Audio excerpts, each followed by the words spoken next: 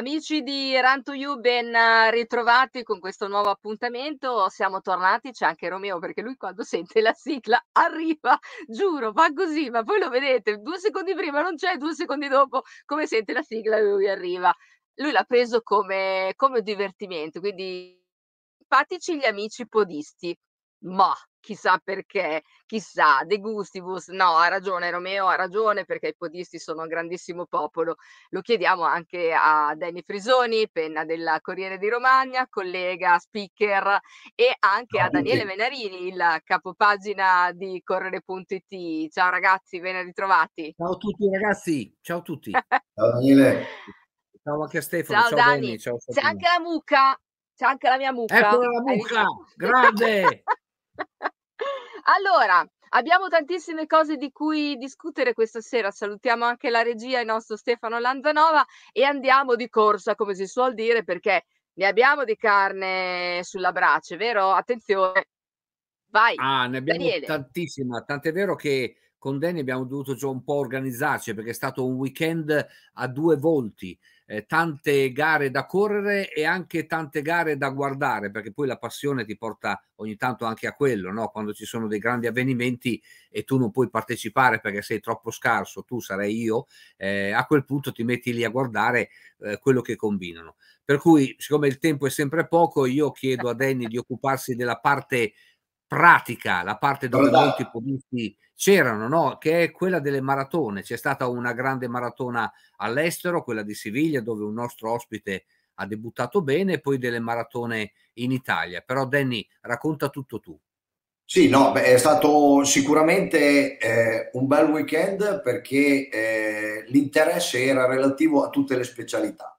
Corsa campestre, dove c'erano i mondiali, indoor, con i campionati italiani e i vari meeting in giro per, per l'Europa con eh, l'obiettivo primario, quello di eh, essere convocati per gli europei di Istanbul, che è, a quanto pare eh, in effetti sì, sembra veramente che eh, si riescano ad organizzare. Quindi in bocca al lupo, bravo Daniele a sottolinearlo. E sì, abbiamo preparato una scheda eh, degna eh, del personaggio che andiamo a trattare perché in effetti è stato un nostro ospite e quindi come diceva Sabrina sempre noi portiamo fortuna però attenzione a quello che avevi detto riguardo a Marcel Jacobs, quindi io, io mi dissocio completamente.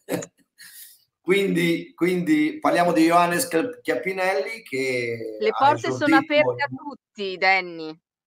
Certo, certo. Parliamo appunto di questo ragazzo che abbiamo avuto ospite, che ha debuttato in maratona, come ci aveva già ehm, detto in, in, trasmissione e l'ha fatto eh, con un grandissimo risultato 2,9 e 46 è il sedicesimo tempo all, all time eh, in Italia eh, e, e, casualmente eh, quindi dalla scheda eh, che ci può favorire Stefano lo possiamo vedere è eh, lo stesso luogo lo stesso percorso che ha sancito nel 2020 invece il eh, record italiano per mano di Eyob eh, Faniel. E quindi è un percorso che si rivela eh, non solo veloce, ma anche eh, molto eh, attraente per, per, i colori italiani. Quindi complimenti, come vedete in, questa, in queste prime 16 posizioni ci sono due campioni olimpici, eh, due vincitori della maratona di New York, ne manca il terzo perché Pistolato non è mai riuscito a correre a queste velocità, però intanto se ne è portate a casa due. e poi ci sono altri campioni, eh, campioni europei di maratona, campioni mondiali e, e quant'altro. Insomma, quindi vedete che eh, Chiappinelli entra in questa ristretta elite eh, di, di, campioni e eh, lo fa praticamente con la credo, seconda prestazione di un debuttante, Daniele, o comunque una, una delle prime tre, perché quell'altra era appartenuta a, a Ilyes Awani a Milano nel 2000. Esatto, proprio lì, che lo vediamo giustamente all'ottava posizione, è uno dei migliori debutti. Fino no? adesso non è riuscito mai a fare meglio di questo, quindi eh, in bocca al lupo a questo nuovo eh, prospetto, la maratona italiana quindi è viva e vegeta e eh, eh, si presenterà probabilmente all'asta di partenza dei mondiali con mh, grandi eh, prospettive, speriamo anche eh, nella, soprattutto nella Coppa Europa, nella Coppa eh, del Mondo per, per Nazioni, eh, che prende il risultato dei primi tre atleti eh, di quella nazione.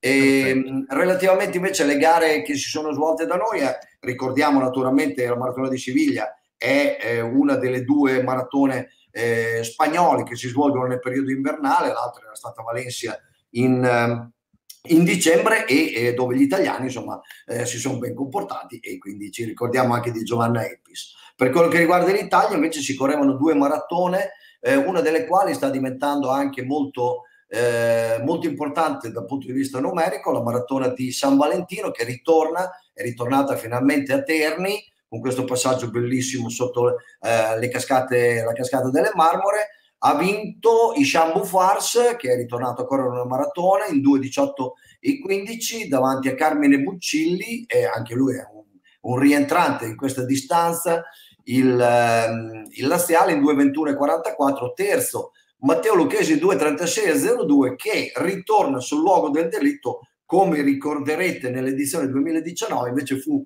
eh, giunse al traguardo terzo ma fu squalificato. Fra le donne ha vinto una romana Paola Salvatori. Eh, credo che sia una F, F50 mi sembra, quindi eh, onore a lei 2,47,57 davanti a Maria Vrajic che noi conosciamo benissimo la croata mm. eh, due volte, mi sembra vincitrice della 100 km del passatore e anche della 50 km di Romagna, 2,55,33 per la croata, terza eh, Claudia Vincenti. Passiamo invece a una maratona anche qui molto caratteristica, ma dal, dal punto di vista scenografico perché sotto le Alpi Apuane si è corsa la White Marble Marathon a Marina di Massa con eh, una discreta partecipazione, siamo nell'ordine dei 300, ma eh, gli organizzatori si sono giocati anche l'opportunità di una mezza maratona eh, di, una, di, gare, di, gare, non competitive che hanno eh, portato un gran numero di eh, partecipanti. Qui la curiosità è che ha vinto un nostro amico, anche lui fu nostro ospite Ismail El Esufi che eh, ha vinto in 2.36, 2, eh, 2 ore 36 davanti a Morris Luccetti in 2.41.35 ma terza è arrivata Clementine Mukandanga in 2.44.19 e pensate l'atleta ehm, burundiana è stata, è ruandese è stata in testa fino al quinto chilometro, me l'ha svelato Ismail El Aisufi, proprio in testa a comandare, è rarissimo da vedere, forse Federica Moroni in qualche occasione è riuscito a fare. Vai Daniele con il resto del panorama. Una forza, una forza della natura, la Clementina. Eh, credo proprio di poter dire una forza della natura, Daniele, ma non solo, insomma, credo che abbia dato qualche grattacapo un po' a tutti, anche i colleghi maratonetti uomini, insomma, eh sì. Diciamo che proprio... ha, vero. Proprio così. Veniamo a parlare delle indoor, cosa ne dite? Mm? Assolutamente. Ah, e veniamo a quell'immagine, a quella notizia che ha fatto il Giro d'Italia, la notizia del campione olimpico che ha perso. Io mi sono permesso di dire nel, nella cronaca che è un po' come in quel film, no? quando all'episodio numero due Rocky Balboa batte Apollo Creed, perché alla fine sembrava un po' lo sfidante che riesce nel sogno impossibile. Però la cosa di quella giornata che ci tengo a dire mentre vediamo un po' eh, le immagini è che non è stato un demerito di Jacobs, attenzione, ma è stato veramente bravo Samuele Ceccarelli perché 6 secondi e 54 sui sui 60 piani, eh, Danny lo sa, è la terza miglior prestazione all time. Significa che davanti a questo ragazzo di massa, 23 anni, toscano, che, che ha fatto una, una salita verticale in questo, in questo inverno, perché partiva da un 6,72 fatto nel 2019 quando era junior, poi le cose si erano un po' fermate, è ripartito. Davanti a lui c'è soltanto Marcel Jacobs e Antonio Ullo che fu campione europeo indoor dei 60 nel 1992. Per cui non è una casualità, è proprio una, pre- una prestazione straordinaria, ma è stata una gara straordinaria perché chi ha avuto modo di vederla ha saputo apprezzare anche eh, Roberto Rigali che è arrivato terzo in 6,69 ma che ha fatto una batteria con una fluidità straordinaria, l'ha sottolineato anche Franco Bragagna.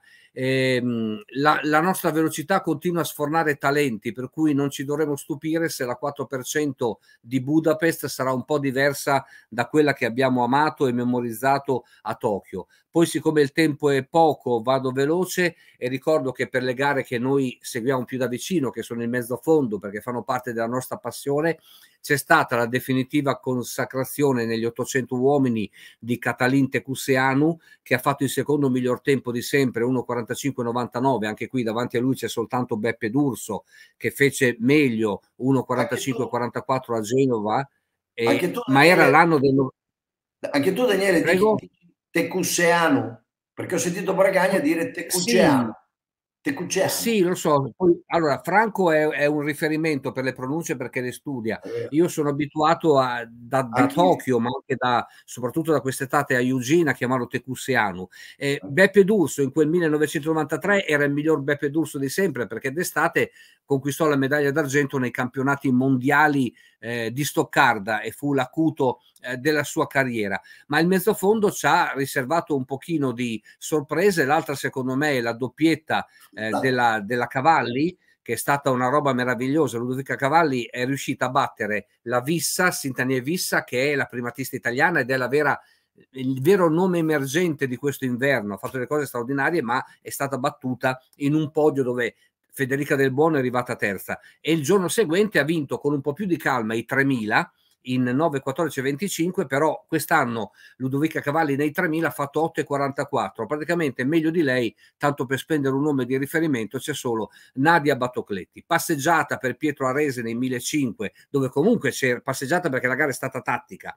ma ha dovuto guardarsi dal primatista Meslec, un altro che ha fatto un grande inverno, e finalmente abbiamo rivisto Eloisa Coiro, che fu bravissima ai campionati under 23 di due anni fa, quando vinsero gli Ori, la Gaia Sabatini, e, e le altre mezzofondiste, quando Anna, Riga, Anna ehm, Arnaudo arrivò seconda. Ecco, lei aveva avuto un momento di, di appannamento, è tornata ad andare fortissimo nella sua specialità che sono gli 800 20355 infatti poi la vedremo a Istanbul ne parleremo tra un po' e, e, anche lì ha un po' sorpreso Federica Del Bono che è arrivata a secondi. seconda i 3000 era in gara un altro nostro ospite, Yassin Bui, che è rimasto a piedi del podio, ha vinto Meslec perché lì, eh, come dire, si è, si, è, si è, vendicato del 1500 del giorno prima, ha battuto Pietro Riva, altro nostro ospite, e Mattia Padovani. Eh, fuori, fammi vedere quanto abbiamo ancora. Ai ai ai, no, niente. Eh, vabbè, la, due cose, la, l'asta di Roberta Bruni, il primato a 4,62 e, e, poi finalmente il rientro in massima forma di Leonardo Fabri. Abbiamo ritrovato questo grandissimo eh, pesista che aveva avuto un anno un po' sfortunato. Questo è il Fabri del 2021 ed è con lui che vogliamo andare a Istanbul, dove abbiamo Danny tantissimi 50 convocati, no? 50 convocati, quelli che ci interessano più di tutti sono naturalmente i mezzofondisti, il mezzofondo prolungato, quindi negli 800 tiferemo per lo stesso Tecusseano e Simone Barontini, nei 1500 caliamo un tris addirittura Pietro Rese, Osama Meslec e Federico Riva, mentre un altro Riva, Pietro, insieme a Mattia Padovani rappresenteranno l'Italia nei 3000 metri. A, livello femminile hai già eh, fatto alcuni nomi importanti, negli 800 oltre a Eloisa Coiro ci sarà anche Elena Bellò, nel 1500 abbiamo anche qui un terzetto con Sinta Vissa, Ludovica Cavalli che l'avevi già menzionata, la stessa Federica Del Buono. E infine un terzetto anche nei 3000. Attenzione perché insomma c'è eh, vitalità anche nel mezzofondo prolungato, parliamo eh, di campionati europei, eh, Ludovica Cavalli che doppierà insieme a Micol Maiori e naturalmente a eh, una delle nostre carte eh, da giocare maggior, migliori che è Nadia Pattocletti. Perfetto, in bocca al lupo a tutti. Sabri, ah, noi abbiamo, abbiamo, tenuto per ultima quella piccola notizia che riguardava la mitica Murray Barlett e i suoi 150 maratone in 150 giorni, ne abbiamo di, di, show di questo tipo, ma faremo un mega, un mega in bocca al lupo ai nostri azzurri, questa formazione da 50 dove ricordiamo che non c'è eh, Jimbo Tamberi, ma solo perché ha scelto, secondo me, saggiamente di riposarsi per la stagione indoor, era lì ad Ancona a fare lo spettatore, si è divertito e ha fatto divertire, ha mandato un, un video dove salta da fermo all'indietro a 1,65, cioè spettacolo della natura. Peccato invece che non ci sarà Zain addosso perché la sua prudente assenza da Parigi evidentemente è diventata qualcosa di un po' più complicato. Però dai, grande tifo per gli azzurri, Sabria te la linea. Assolutamente, hai già detto tutto anche su er Erciana Murray Barley Bartlett, questa australiana che ha battuto un record precedente, ehm, pensate di che era di Kate Jaden, che aveva corso 106 maratone consecutive. Questa ne ha corse 150, insomma sono numeri già insomma di tutto rispetto, ma eh, andiamo la tessera del super marathon. Scusate, scusate, diamo a Cesare quel che è di Cesare. Abbiamo parlato lo scorso puntata in copertina della prima gara plastic free, non era vero perché anche la White Marble Marathon a Massa hanno eh, sposato questa causa. Quindi bravi a tutti coloro che lo faranno.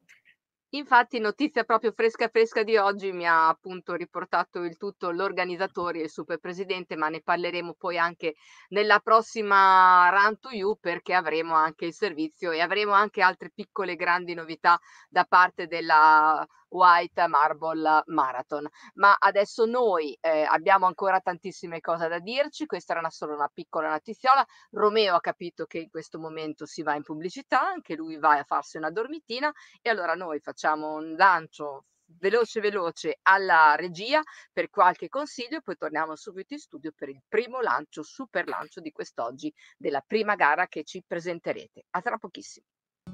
Gruppo Consar, da oltre 40 anni radicato sul territorio e anche in tutta Italia con magazzini logistici, piazzali e depositi. Opera a 360 gradi dal trasporto internazionale sino alla City Logistic, offrendo anche molteplici altri servizi professionali alla grande industria e attività locali, operando attraverso un sistema di qualità certificato. Gruppo Consar è sinonimo di una solida realtà che si muove, cresce e si evolve. Ora anche con nuove sedi a Forlì e Faenza. Consar, la garanzia di un grande gruppo con cui fare fare tanta strada insieme.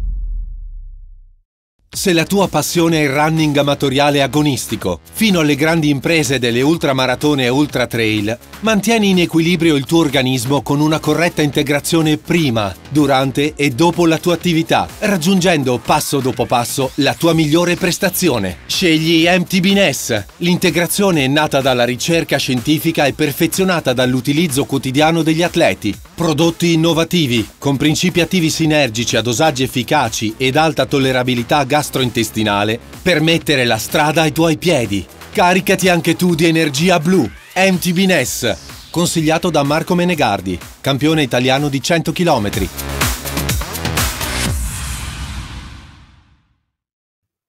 E rientriamo subito in studio perché adesso è qui, vi voglio ragazzi, questa è una super maratona, abbiamo un bellissimo eh, riassunto di quella che è stata la maratona di Seviglia.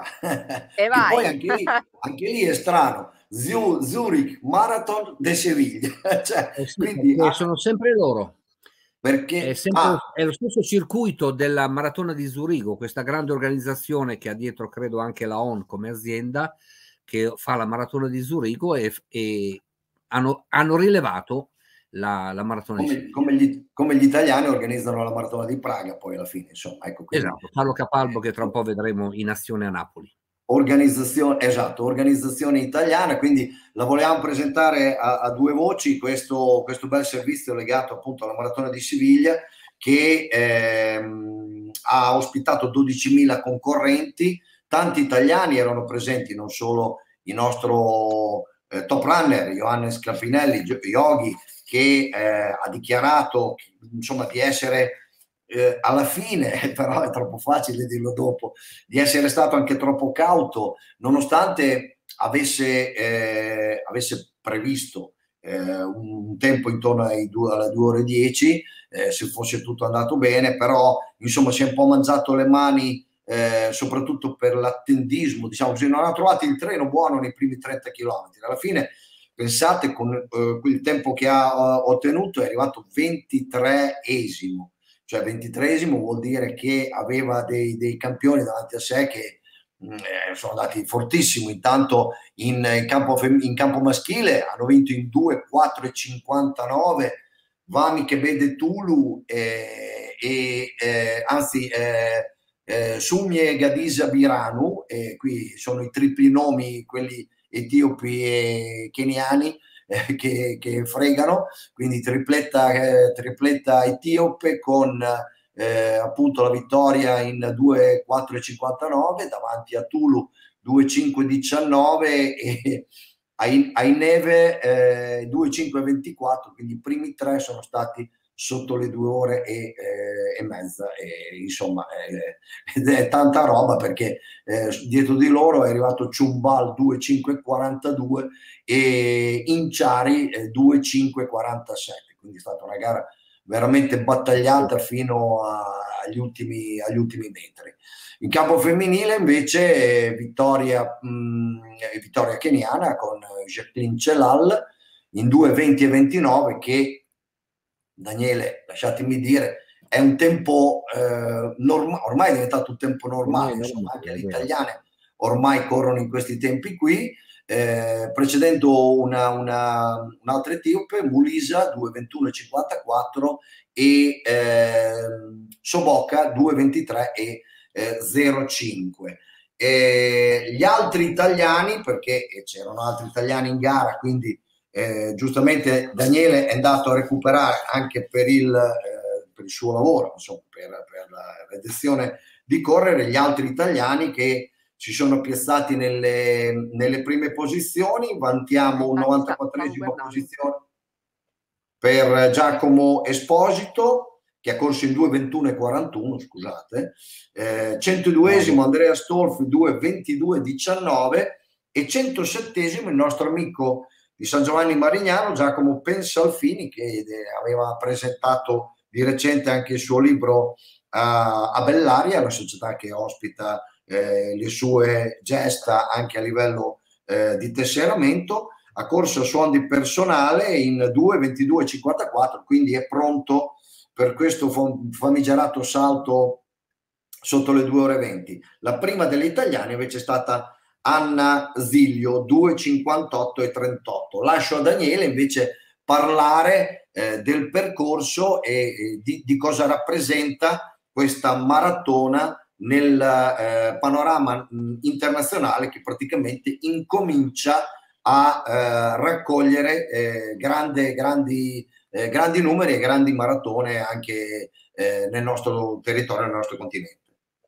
Guarda, prendo spunto da quello che dicevi tu, che citavi eh, Valencia, perché sta veramente diventando la Valencia di inizio anno e in particolare mi sembra di capire che piaccia molto ai nostri top runner, perché nella tua scheda di prima delle prestazioni all time vedi che anche Daniele Meucci, quando finalmente è riuscito a scendere sotto le 2 ore 10, l'ha fatto a Siviglia. Il record italiano è stato fatto a Siviglia. Tra l'altro c'è un, brevemente un piccolo aneddoto perché Marcello Magnani, che è il manager di Jean Faniel, è dovuto impazzire per salvare il record italiano perché Ejob, come ehm, Chiappinelli domenica scorsa, era arrivato diciassettesimo. E quindi non era previsto il controllo antidoping, mentre per convalidare un record italiano ci vuole il controllo antidoping per cui di corsa cercare di, di, farglielo fare perché altrimenti non sarebbe stato controllo antidoping. Ma se, se vi ricordate anche nostro, l'altro nostro ospite, eh, il, il, mitico Yassin El Fatawi, alla fine uno dei due tempi che gli ha permesso di andare a Tokyo lo ha preso proprio a Siviglia. Evidentemente è una gara eh, forse anche per la collocazione in calendario. Lo stesso Crippa, vi ricordate, prima di Milano aveva accennato che avrebbe fatto la maratona lì, eh, sta diventando una maratona molto cercata dai nostri top runner. Questo eh, e, poi, poi, ripeto, e poi, poi trovando tutti i treni, è sempre il solito discorso, eh, qualità chiama qualità, quindi anche eh, atleti che come Giacomo per esempio, che si piazzano 107 e eh, migliorano il proprio personale, eh, difficilmente in una maratona territoriale, una maratona, eh, non una grande maratona, insomma, anche eh, a livello italiano avrebbero trovato modo certo. di migliorarsi o trovare la possibilità quantomeno di eh, affiancarsi mh, per gran parte del viaggio ad altri eh, podisti che hanno il tuo stesso, la tua stessa andatura. Cioè, la Sabri diciamo che, che c'è un treno per tutti.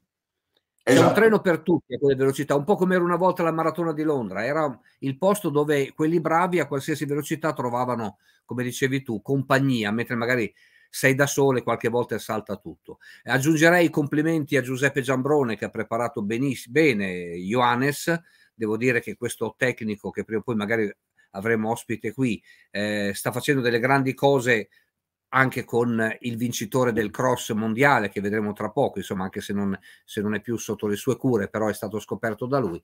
Eh, diamo a Cesare quel che è di Cesare, quindi bravo Giuseppe e direi che su Siviglia, che è una meravigliosa città, possiamo fermarci. Eh?